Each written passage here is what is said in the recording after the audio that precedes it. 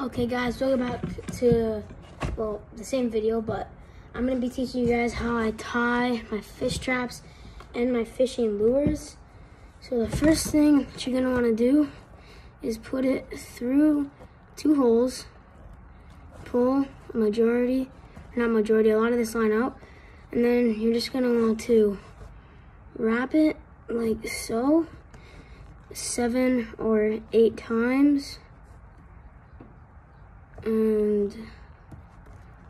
once you end up wrapping it all up, what you're gonna wanna do is you see this big loop, you're gonna take the end of this, this little string, tie it through, and then pull it tight. And then if you want to do a little extra measure, you can just put, you can just put it through um, a few more times and then you'll be good.